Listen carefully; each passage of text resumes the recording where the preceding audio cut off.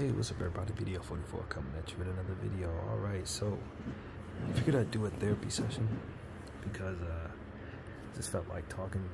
Kind of been in the house today for the most part because I overslept and found myself uh you know up barely getting out of bed like 10:30 and I knew I had Bible study today. It was a good session um, of Bible study and everything, but I wanted to make sure I was in the house for it. Uh, so I just did a little art, watched the end of the game seven of uh, Orlando and Cleveland. Had a great time with, uh, you know, just kind of lazing around. And, uh, you know, just took it really easy, man. Did my, my push ups and everything. Didn't do hundreds and all that, but, you know, I enjoyed my day. And of course, Drake dropped his response to, to, to what's, you know, the latest offering in the Kendrick Drake beef. And, you know, I was able to kind of listen to the reactions to that and everything. And uh, yeah, man, took it took it easy, of course. The Bible study was at 4:30. Enjoyed that. Napped a little bit, but for the most part, I just been up, looking at everything online. Um, my ex, uh, not ex girlfriend, X is in Twitter account got suspended. I have no idea why. I didn't do anything that I know of that would have garnered that type of um, situation. But yeah, that was a little weird. All I was doing was reposting funny memes about um, what was going on with the with the with the feud there between Drake and, and Kendrick. So I don't. I have no idea what they suspended me over. I truly don't. if anything, I was unfollowing sites um, that that I had long had followed that needed not to be followed, just like I was doing on uh, Instagram, and uh, did a little more of that too. I follow some people on Instagram, trying to get my my following uh, number down to something that looks reasonable, so I can start following accounts that that have meaning to it. And uh, you know, it, it is what it is, man. But you know, um, what I'm really on here to say is you know, while we're paying attention to this Kendrick Drake thing, just like I was, as I was saying in my last couple of therapy sessions, uh, it's a lot going on in the world that has nothing to do with entertainment that really needs our attention. And right now, um, that's exactly what's happening, man. I was just looking on Instagram and just saw like three or four new people had, who were holding their children, you know what I mean, who had lost their lives fresh, new circumstances such as those. And, um, then I saw something that said that they were evacuating East Rafah, telling those people to go to a safe space like they did five months ago in another part of the region.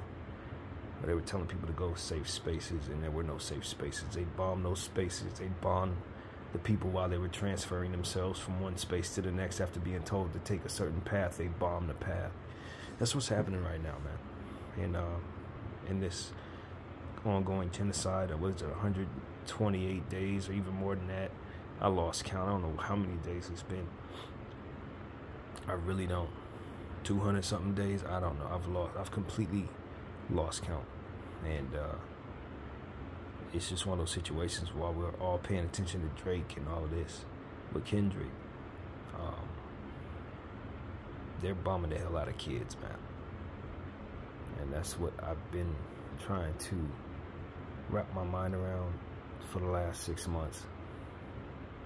You see, October, November, December, January, February, March, April, eight months.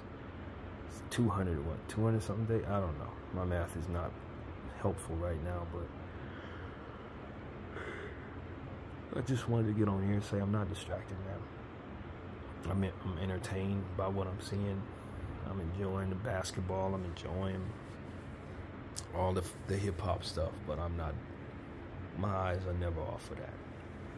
I don't want all of you guys to be able to do that too. We got to find a, a, balance. I mean, you don't want to throw yourself into one side or too far into one side or another on any subject because there's so much to pay attention to, there's so much to focus on in your own life, so much. It's only but so much time we have left.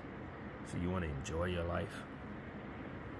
but you know, there's real stuff out there, and there are a lot of people who don't get a chance to enjoy their lives, and they are suffering things that many of us don't know how bad it feels to go through those things. We don't know nothing about those type of realities. When you gotta load your child into a car and go bury them yourself. I just saw like three or four different posts like that. Like it's just absolutely unfathomable for us in the Western world who don't have to experience that in any way. God forbid you lose somebody. You at least have the decency and the privilege of you know some uh, an agency doing with their remains what you would want putting them somewhere cold being able to bring clothing choosing what type of clothing you want them to wear you get the whole funeral and the whole you know depending on how much money you have you can afford to send them home the right way. These people are losing those kids and then they have to load them into their vehicles and take them somewhere or walk them down the street holding them in their arms. Like these are the type of things that people that people who are making these decisions to send 20 billion dollars over to Israel to kill these kids these are the things that they do not have to experience in their lives. They do not have to even enter their minds into these spaces where this is a reality. And what the propaganda pushes those who want us to believe that Israel's the good guy, what they're not acknowledging is that there are people like myself who are seeing this in their phones. They want to tell you that you're not supposed to take the protesters seriously or that this is not your fight or that there is some justification based on revenge or based on terrorists who may be hiding in, in the midst of, of, of these people who are being bombed. That we have allies who are involved in this fight, so we shouldn't look at it as a genocide, but more so as a conflict that we need to support. All of these different things that are being pushed upon our minds, and then not acknowledging the trauma that people who are going through this are dealing with and then furthermore to a much much much much lesser degree the trauma that people like the protesters and myself are seeing in our phone. That is what's not being acknowledged and that's what I want to turn on my phone to say. There may be somebody who's looking at this dark screen here listening to my voice who may have saw something on CNN that may tell them that this is something other than what it is I just described. And what I'm telling you is if you trust me to tell you the truth about my Laker basketball team, or you trust me to tell you the truth about my day to day life as I do, then you need to trust me when I tell you those people are liars. And they are painting a picture that is not true. We are not learning all of this information from some rival propaganda that is controlled by terrorists.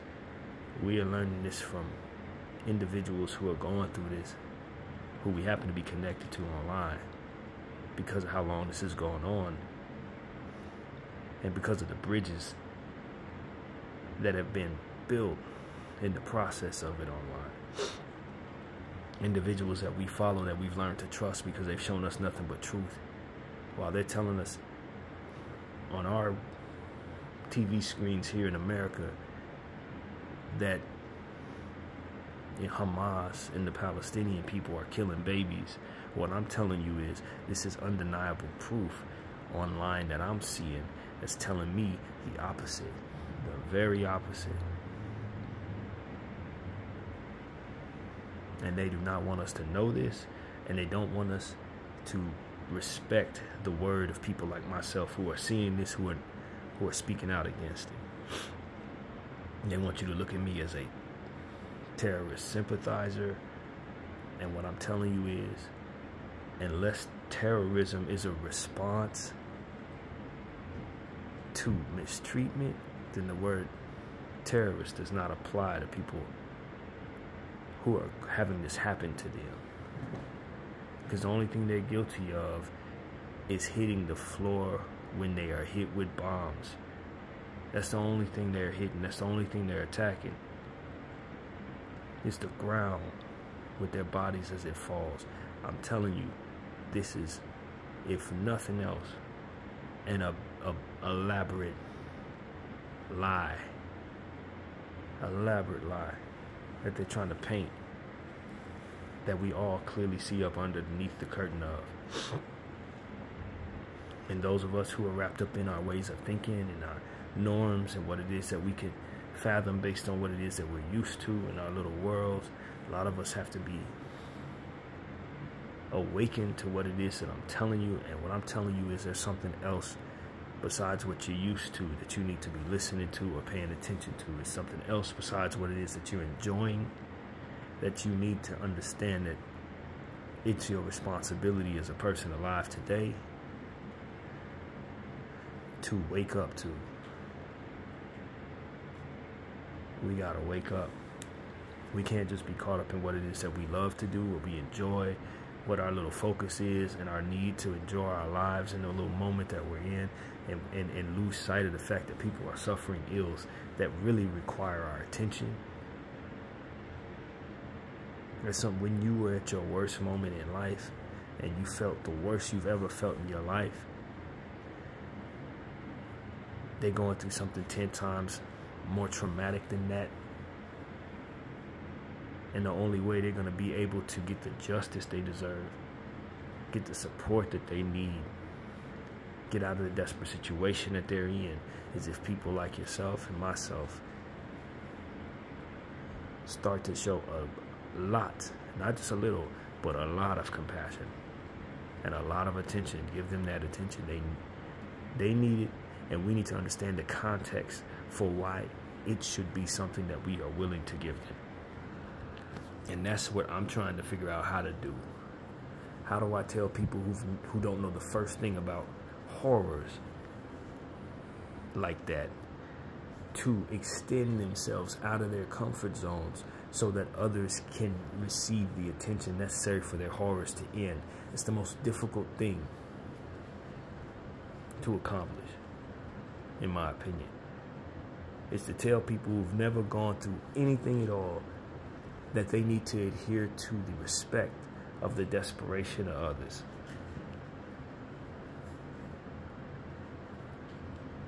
That's the equation for people like myself. How do we make you care about this? How do we make you respect this?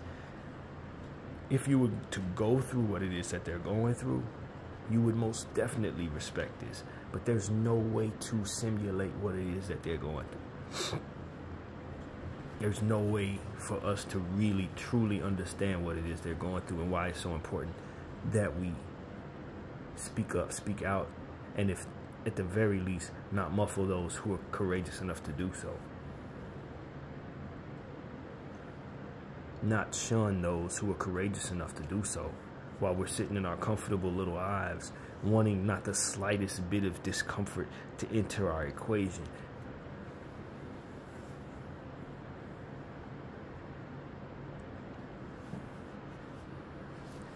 I too do not know the first thing about the suffering that they're going through. All I can tell you is what I'm seeing in my phone versus what it is that I'm seeing on the TV screen when I listen to those who are supposed to be giving us news lie to us about what it is that's actually going on in my phone.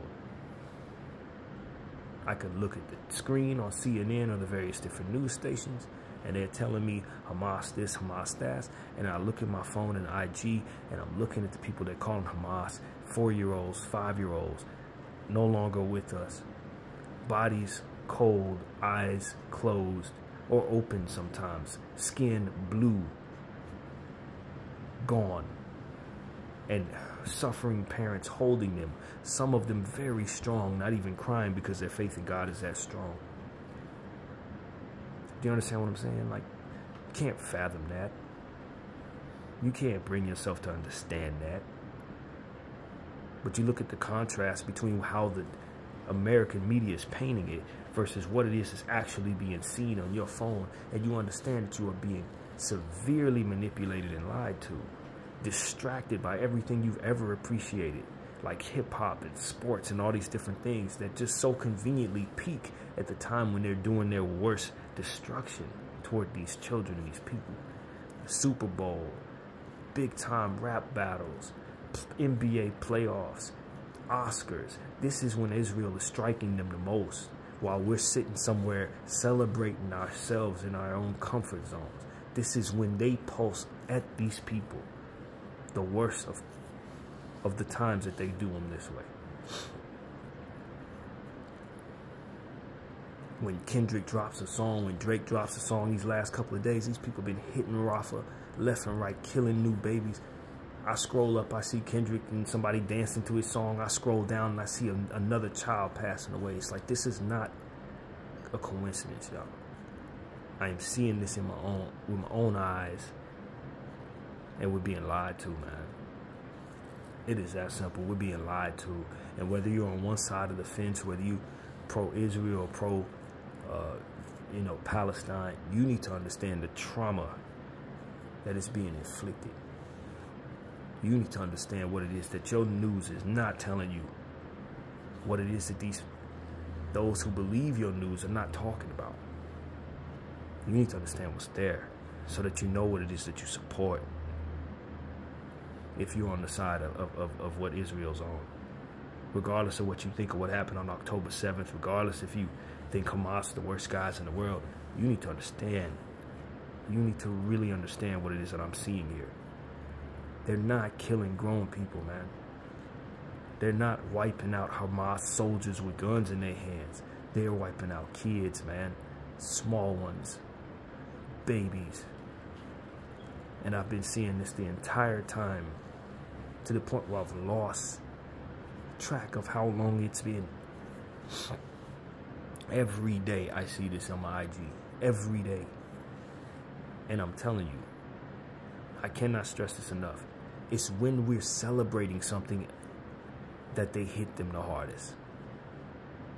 And tonight's one of those nights where they're hitting them the hardest, man.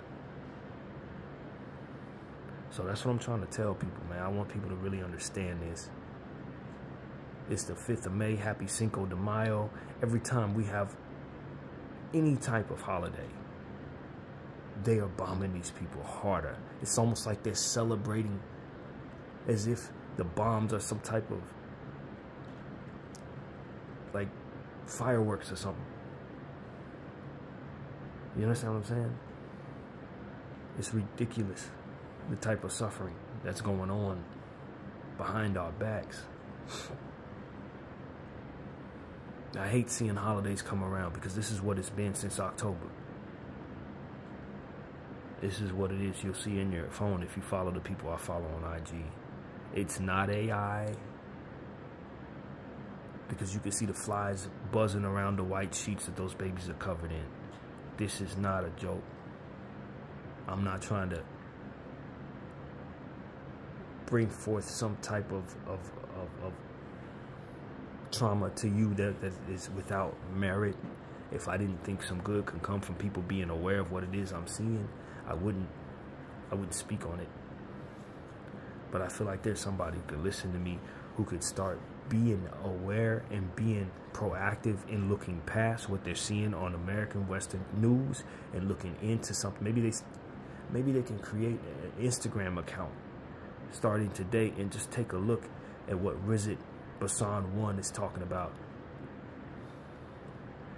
Maybe if they can hashtag Free Palestine and start looking at some of the stuff that we're seeing here maybe maybe they can find something that they're not looking at that can help them be revealed the truth.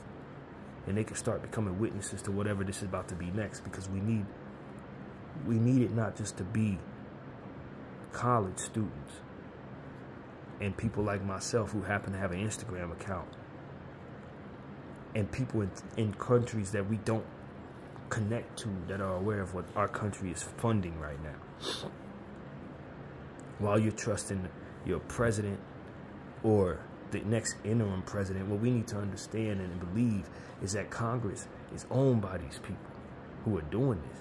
It don't really matter what president's in place. He's going to support Israel. You hire the next guy, he's going to support Israel. This is bigger than just a one-man deal. This is something that is really, really funded fully.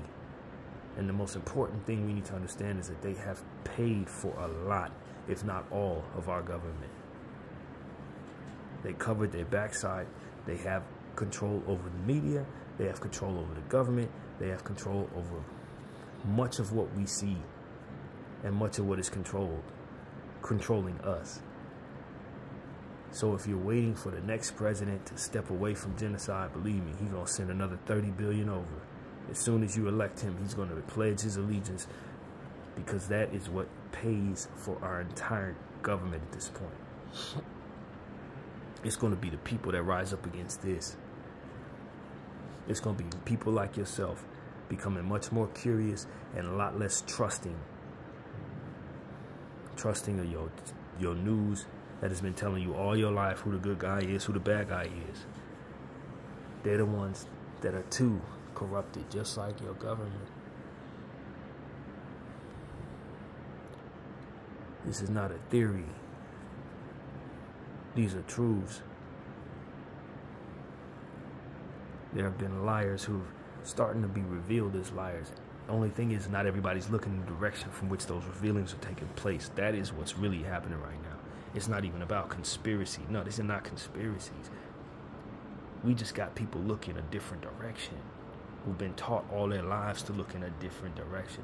We need those people to start turning their heads toward where this is happening and for them to understand beyond a shadow of a doubt that there is something to see over here. They're not looking at, that they've been taught how not to look at. And as a result, it's some unfathomable sufferings that they they probably would not be able to survive themselves that are taking place.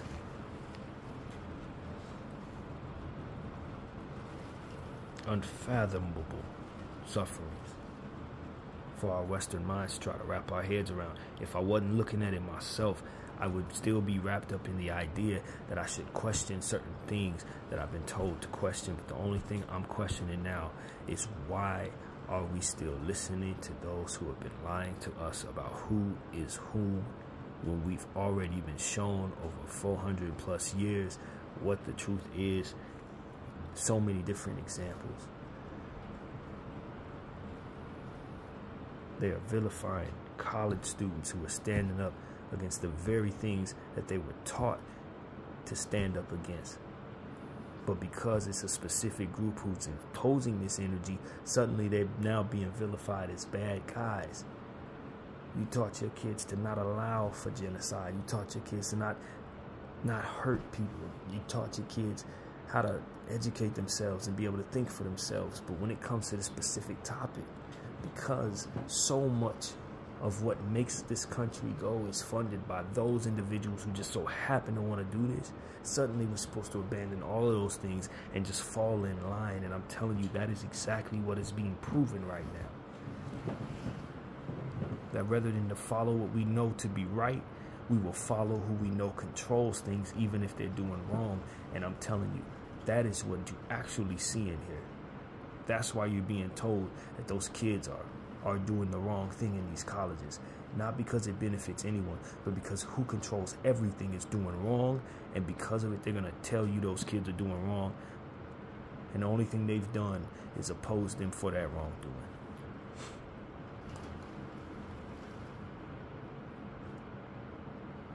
So I'm, I'm asking everybody who follows me to hear these words when I say them what I've just described to you is far more severe than what I was able to describe. My words don't do it any justice. My understanding only provides it but so much clarity. My aptitude can only provide you but so much of the facts. There is so much for you to learn if you don't already know about what exactly is happening and why you should care. why you should care is the most important thing to figure out. Even more so than what's going on. You will open up that rabbit hole of understanding and truth in regards to this genocide. But you first have to enter into a space where maybe, just maybe, you should listen to this particular conversation, even though it's being done overseas. Because a lot of what the conditioning is in our country specifically is to is about making it so that we only but care so much about what's happening in other places. We only but care so much unless we're wrapped up in the culture of politics. We won't necessarily consider what's happening overseas. That is a culture that is put in place on purpose so we will not question certain things that our tax dollars fund that take place in those places.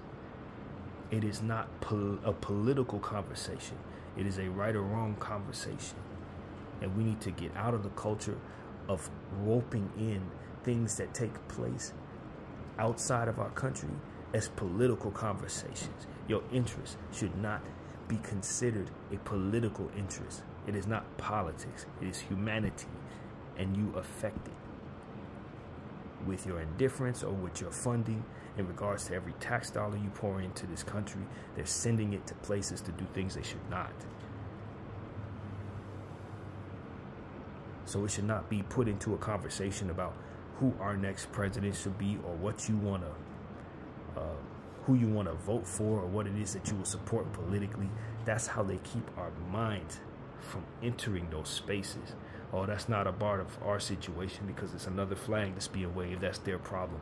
And that's where they keep you from focusing in on it, but you're still going to pay into it. And you won't know the first thing about that context because you've been taught to only rope those conversations into the political box from which a lot of that stuff is roped into by way of how it's presented to us by the media. They only talk about these type of things on political platforms. That is not by mistake. We'll never talk about politics with your sports. And as a result, you won't necessarily be able to, with the same mind you watch your sports with, talk about these political, quote unquote, political conversations. But that's the culture that needs to be broken down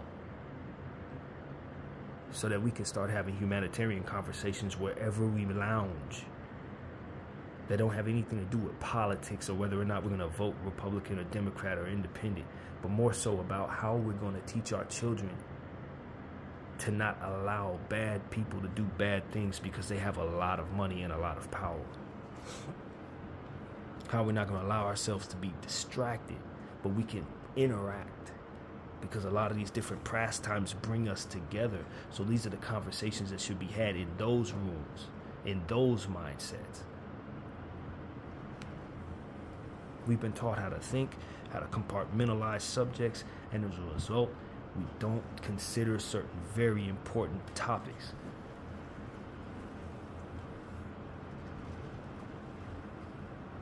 That's why I use my channel to talk about the Lakers and talk about myself and talk about things I like and to talk about things that would be considered political. It is that reason why you see all of this on one channel. Is not by accident.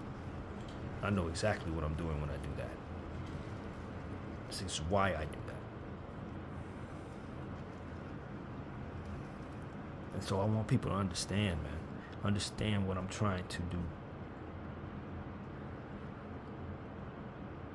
It should be normal, very normal, to consider others and the sufferings and their triumphs when we're sitting back, relaxing, talking about the things that we love to do. We should be able to celebrate people enjoy their sports, enjoy their music or whatever it is, and talk about how we can make the world a safer place for all of us. It should be fine to have those conversations. It should not be political to have those conversations. We should not feel like it's so important that we separate those conversations. That is a deliberate mind teaching thing. They're teaching us how to think.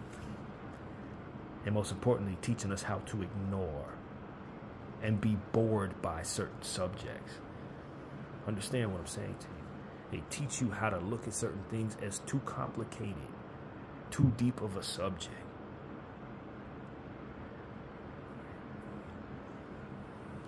But we can decipher rap lyrics and find quadruple entendres out of something that someone's saying in a rap song, but we can't come to the conclusion that we need to do a little critical thinking when it comes to some of the stuff that that's going on politically, quote unquote.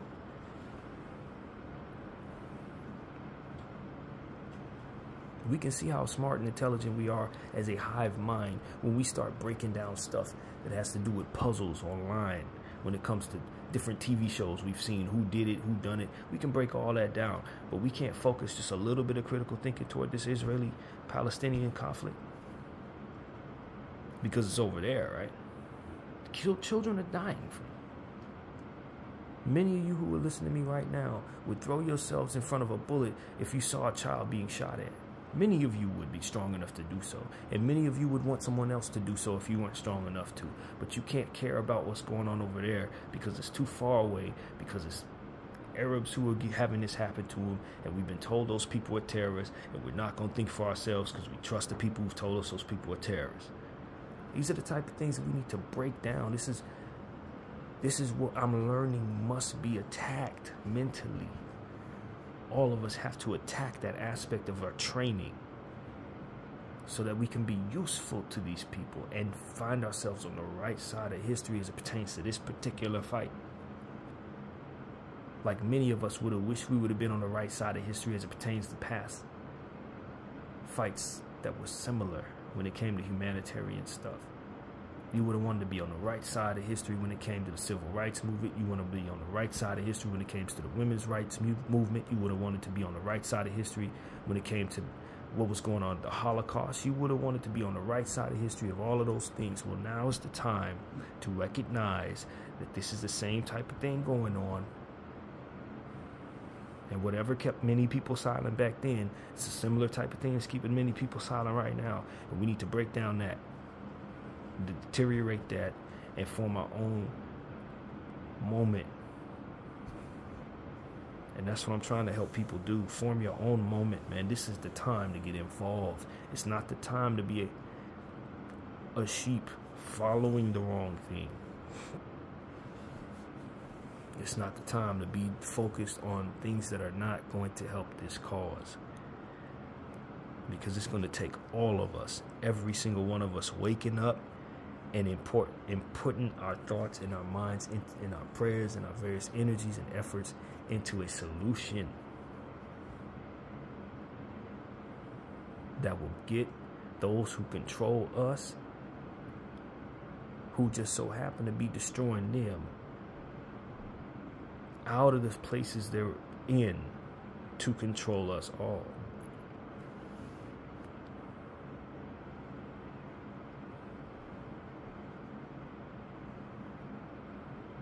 That's what it is I wanted to say, man. My name is BDF44. I thank you all for watching. I'm out.